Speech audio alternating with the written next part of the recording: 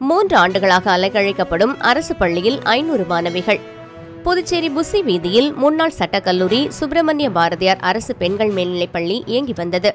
இப்பள்ளியின் கட்டிடம் மிக மோசமானதால் குருசுகுப்பத்தில் உள்ள என்கேசி பள்ளி ஆண்கள் பள்ளிக்கு மாற்றப்பட்டது. இங்கு இரண்டு பிரிவு மாணவர்களுக்குள் கடந்த ஆண்டு ஏற்பட்ட தகராறு கலவரமாக மாறியது. இதனால் கந்தப்ப முதலியார் வீதியில் உள்ள வீரமா முனிவர் அரசு ஆண்கள் உயர்நிலைப் பள்ளிக்கு ஷிப்ட் முறைக்கு மாற்றப்பட்டது. இதையடுத்து மாணவிகள் இன்று காலை வந்தபோது வீரமா முனைவர் பள்ளியின் மாணவர்களும் பெற்றோரும் எங்கள் பள்ளியை வேறு யாருக்கும் பகிர்ந்து கொடுக்க மாட்டோம். முழு நேரமும் எங்களுக்கு பள்ளியை இயக்க வேண்டும். காரணம் சிபிஎஸ்இ திட்டத்தில் படிக்க முழு நேரமும் பள்ளியை இயக்க வேண்டும் என்று கூறி மாணவிகளை அனுமதிக்காமல் கதவை பூட்டினார்கள். இந்த தகவல் அறிந்து எம்எல்ஏ நேரு வந்து பேச்சுவார்த்தை நடத்தியும் மாணவர்கள் ஏற்கவில்லை. இதனைத் தொடர்ந்து மாணவிகள் செய்வதறியாமல் புசி வீதிக்கு வந்து திடீர் சாலை மறியலில் ஈடுபட்டனர். மூன்று ஆண்டுகளாக தாங்கள் அழகழிக்கப்படுவதாக ஆவேசமாக கூறினார்கள். அவர்களை சமாதானப்படுத்திய போலீசார் கல்வித்துறை அதிகாரிகளை சந்திக்க அனுப்பி வைத்தனர். ஆனால் அவர்கள் வெங்கட சுப்பாரெட்டியார் சிலை அருகே மறியல் போராட்டத்தில் ஈடுபட்டு வருகின்றனர். கோடை விடுமுறை அறுபது நாட்கள் இருந்த நிலையிலும் கல்வித்துறை பள்ளியின் இடப்பற்றாக்குறை குறித்து எந்தவொரு நடவடிக்கையும் எடுக்காமல் அலட்சியமாக இருந்ததால் தற்போது ஒரே பள்ளியைச் சேர்ந்த ஐநூறு மாணவிகள் மூன்று ஆண்டுகளாக வீதியில் இறங்கி போராட வேண்டிய சூழ்நிலைக்கு தள்ளப்பட்டுள்ளனர்.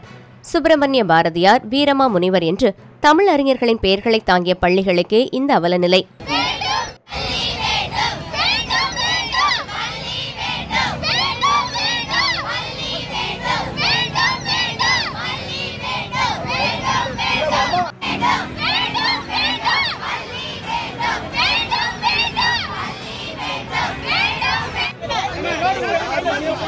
ஆனா சுப்பிரமணிய பாரதியார் ஸ்கூல்ல டுவெல்த் படிக்கிறேன் ஆக்சுவலா எங்களுக்கு ஒரு வருஷமாவே இதே தான் நடந்துட்டு இருக்கு எல்லாரும் இப்படிதான் சொல்லிட்டு இருக்காங்க ஸ்கூல் மாத்தி தர. மாத்திர ஒண்ணு மாத்தி தரல.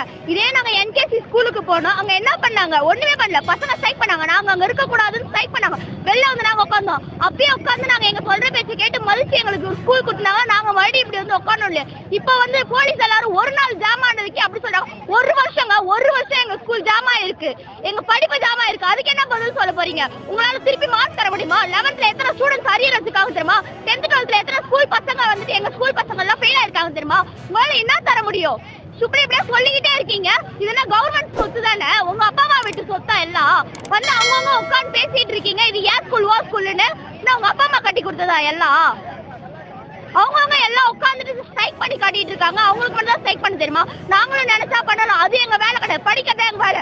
ஒரு அதிகாரி சட்டம் போட்டு அவங்க சட்டப்படி சொல்லணும். இப்படிதான் படிக்க முடியும்னா இப்படிதான் படிக்கணும். இப்படிதான் வேலை செய்யணும் டீச்சர்ஸ் வேலை செஞ்சுதான் ஆகணும். அவங்க சொல்றதுதான் அவங்க சம்பளம் கொடுக்குறாங்க. டீச்சர்ஸ் அவங்க மாட்டு விட்டுட்டு உட்காந்துக்கிறாங்க ஏன் ஒரு டீச்சர்ஸ் பசங்களை ஏந்து உள்ள போன்னு சொன்னா உள்ள பசங்க உள்ள போவாதுங்களா? அப்படியே உட்கார்ந்துட்டே இருக்காங்க பசங்க. அவங்க பசங்க ஸ்ட்ரைக் விட்டு எங்க கை கட்டி நின்று வேடிக்கை பார்த்துட்டு இருக்காங்க. எங்க ஸ்கூல் டீச்சர்ஸ் எங்களை திட்டுறாங்க. உள்ள போங்கன்றாங்க. எந்த தப்பே பண்ணலையே. ஒரு வருஷம் எங்களுக்கு படிப்பு வீணாயிடுச்சு. அதுக்கு என்ன பதில் சொல்ல போறாங்க? எந்த அதிகாரியும் எதுவும் முடிவு எடுக்கலையே.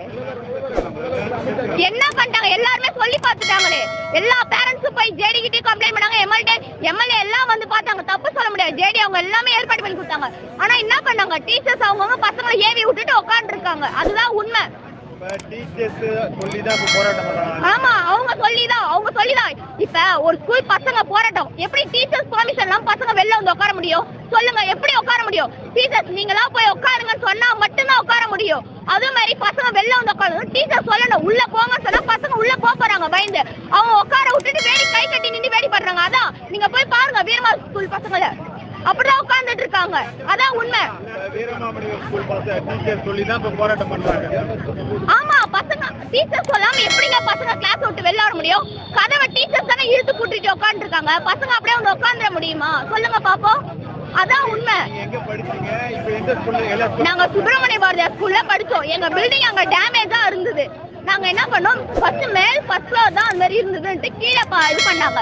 சரி அங்க முடியல என்கேசி ஸ்கூல் போனோம். என்கேசி ஸ்கூல்ல பசங்க எங்களால முடியாது. இவங்க எங்களை டார்ச்சர் பண்றாங்கன்னு சொல்லி எங்களை வெளில அனுப்பிச்சாங்க. அங்க அவ்வளவு சண்டை நடந்து எங்க பேரண்ட்ஸ் அசிங்கப்படுத்தினாங்க எங்க டீச்சர்ஸ் அசிங்கப்படுத்தினாங்க. அவங்க பசங்க எல்லாருமே சொல்றது என்னன்னா எங்களுக்கு இவங்க வந்தது பிடிக்கல பிடிக்கல பிடிக்கலன்னு சொல்றாங்க. நாங்க என்ன பண்ணோம்? எல்லாருமே படிக்க தானே வந்தோம். அப்ப படிக்கிறவங்க தான் நாங்க பார்த்தோம். அவங்களுக்கு இவங்க வந்தது பிடிக்கல அப்படின்ட்டாங்க. சரி அங்க இருந்து வெளில வந்தோம். எங்களுக்கு கரெக்டா குவார்டர்லி எக்ஸாம் அதாவது போன வருஷம் குவார்டர்லி எக்ஸாம் அப்ப ஸ்கூல்ல எக்ஸாம் எழுத முடியாம நாங்க வந்துட்டு வீரமாமணி ஸ்கூல்ல ஆஃப் டே எழுதணும். அவங்க எங்களுக்கு மார்னிங் ஷிஃப்ட் அவங்களுக்கு வந்து ஆஃப்டர்நூன் ஷிஃப்ட் இந்த மாதிரி எக்ஸாம் எழுதப்ப கொஞ்ச நாள் நல்லா போச்சு. அதுக்கப்புறம் பசங்க என்ன பண்ணிட்டாங்க? இவங்க ஃபேனை உடைச்சிட்டாங்க. இவங்க பெஞ்சில் கிறுக்கி வச்சு அசிங்கம் பண்றாங்க. செவுத்துல கிறுக்குறாங்க அப்படின்னாங்க. பசங்க பசங்க உண்மையாலுமே சொல்லணும்னா பசங்க செவுத்துல அசிங்கமா கேர்ள்ஸோட பிரைவேட் பார்ட்ஸ்லாம் வச்சு வரைஞ்சிருந்தாங்க. அதெல்லாம் உண்மை. அதெல்லாம்